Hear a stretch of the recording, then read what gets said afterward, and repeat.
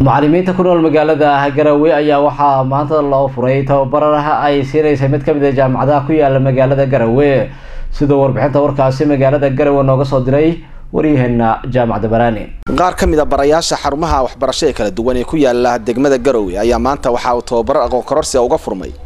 Xarunta tababarada macalimiinta ee jitag ee magaalada garowe markii uu kulanku soo dhammaaday ayaa waxaa la hadlay somali cable guddoonka waxbarashada ee gobolka nugaal iyo weliba maamulka xarunta tababarada macalimiinta ee jitag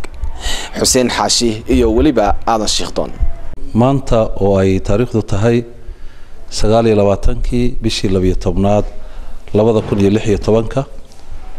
waxaan ku faraxsannahay in kuliyadda tababarka macalimiinta ee garowe ee magaceeda marka la soo gaabiyo la yidhaahdo jitag ay tababar u furtay macalimiin wax ka dhiga dugsiyada hoose dhexe ee magaalada garowe qeybtood arrintan waxaa keenay markii gabar macalimada oo ka timi waddanka holland oo la shaqaynaysay college-ka ilaa bisha bishii labiyo tobnaad ilaa bisha koowaad qaybo ka mid a ay u heshay fursad inay barto macalimiinta qaabka cilmiga pedagogical skillska ee ah sidee loo fahmaa ardayga? Sideese wax loo baraa ugu sahlan. Iyo habka loola macaamilaya ardada waxaa kaloo tababarkan ka mid ah sida macalinku uu ku ogaan karayo ama ula dhaqmayo dadka u baahan waxbarashada gaarka sida ardayga indhaha wax ka dareemaya midka dhagaha culus midka jir ahaan xubnuhu qaar ka maqan yihiin ama ardada kale ee laftigeeda slow learnerska ah ee maskaxdoodu ay xoogaa muddo badan ku qaadanaysa inay wax fahmaan. Maadaama daraasaadka la sameeyey lagu ogaaday in cid kasta ay wax baran karayso.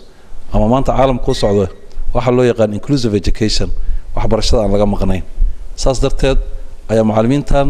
waxaa maanta fursad loo siiyey in ay bartaan cilmiga nooca ku saabsan iyagoo hore u yaqaanay lagana faa'iidaysto siday u macaamilaan. Waana aqoon isweydaarsi. Waxaa maanta sharaf weyn noo ah in macalimiintii dugsiyada primaryga ee degmada garoowe qaybo ka mid ah ay isugu yimaadeen kuliyadda waxbarashada jitig halkaas oo khabiir ka socda dalka holland oo gabar ah oo ayaantan ama usbuucyadan la shaqaynaysay kuliyadda jitig ay isdhaafsan doonaan aqoon isweydaarsi ku saabsan habka barista waxbarista iyo barista ama pedagogical scales oo run ahaantii muhiim noogu ah inay ogaadaan macalimiintu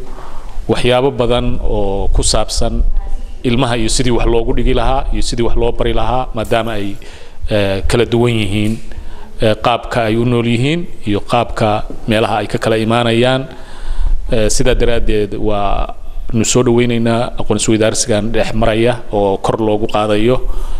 aqoonta macalimiinta primaryga ee degmada garowe qaybo ka mid ah xarunta tababarada macalimiinta ee jitag ee magaalada garowe waa xarun iyadu soo saarta barayaal kala duwan oo wax ka dhiga xarumaha waxbarasho ee kala duwan ee ku yaalla guud ahaan soomaaliya gaar ahaan puntland. Waa jaamac dabaraani oo ka soo hadlaya somali cable t v garowe